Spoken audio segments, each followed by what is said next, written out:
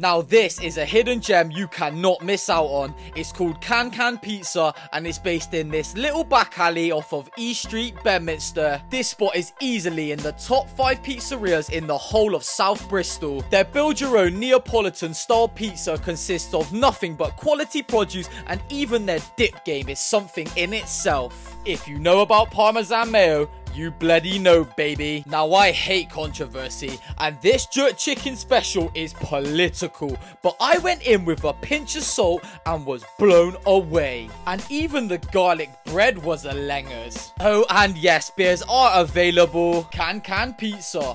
What a gaff.